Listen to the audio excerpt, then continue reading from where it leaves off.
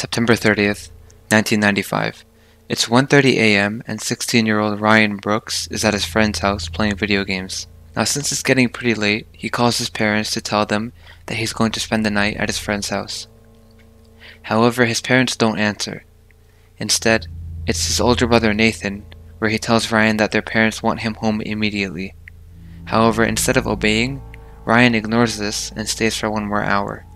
Thankfully, this decision saved Ryan's life, as he later discovers that his older brother Nathan deceived him. Now, his true goal was to lure Ryan home in order to kill him in the name of Satan, which he previously did with their parents just before calling his younger brother. Now, this is the story of Nathan Brooks, also known as the Devil in Bellaire.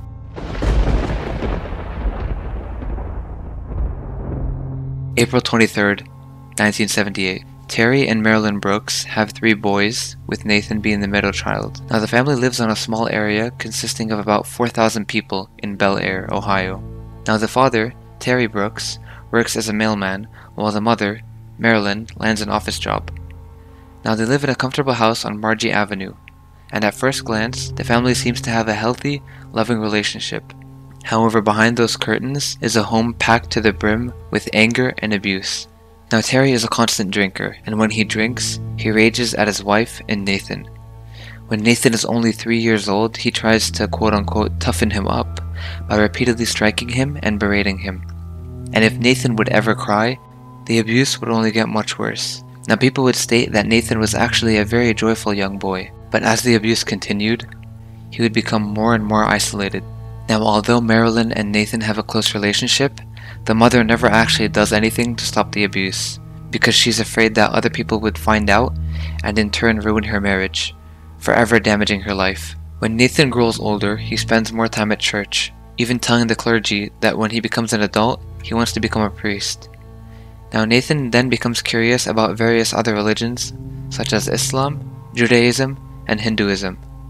It is then at this point where he realizes that he isn't like other people his age. He sadly loses two of his closest friends, the first one being from a brain tumor, and the second one being from suicide. When he attends their funerals, he can't help but think about what happens after death. He doesn't have an ounce of sadness in him, and he is solely focused on the idea of an afterlife existing, based on the countless books he's been reading. After this, Nathan had a babysitter who introduced him to Satanism, and it quickly took over his mind, making him switch from Christianity. He often reads about the supernatural, later setting up an altar in his bedroom, and further listens to satanic like music.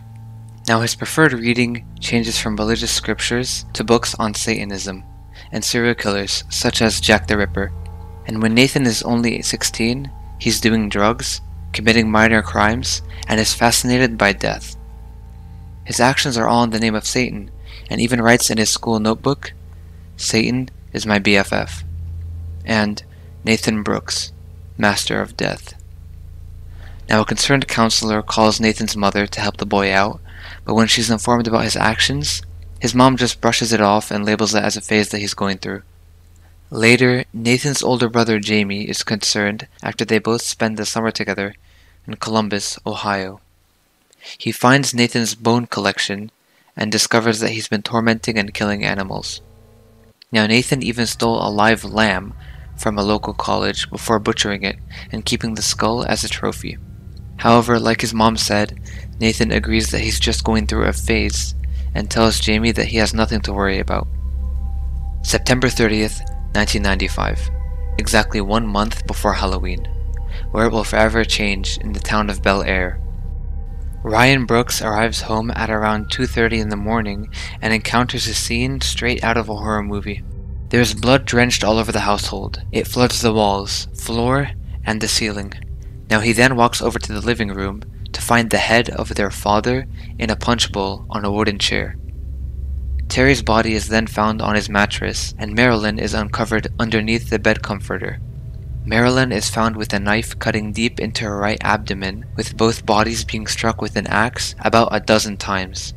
When authorities arrive, they can't seem to find Nathan, but they do uncover several grim objects in his room a rifle, axe, and many knives, along with several books on devil worshipping.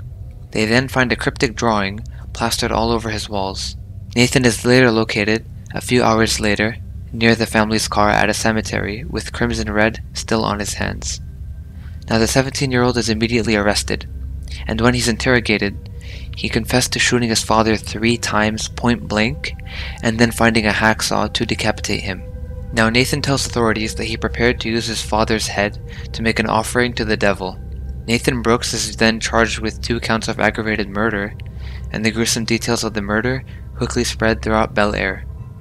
Later, there are rumors of a kill list being found in Nathan's bedroom. Now, at first, investigators and police deny the existence of such a list.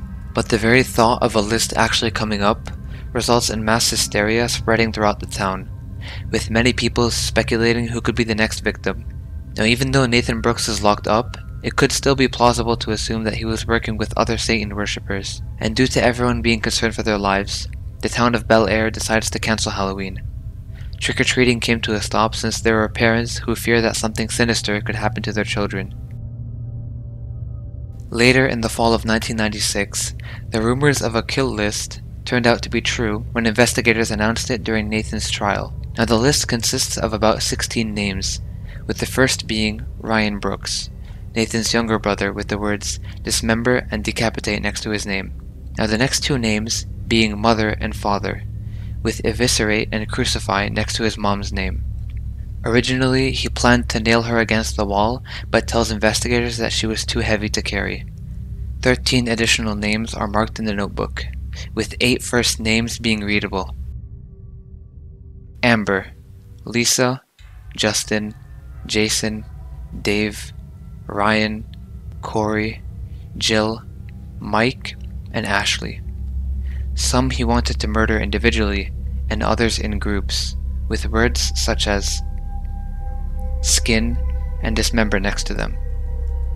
In October 1996, Nathan Brooks was proven guilty on two counts of murder and was handed two life sentences with eligibility for parole in 2038, when he will turn 60 years old. The lasting effects of the devil in Bellaire greatly change how the town celebrates Halloween.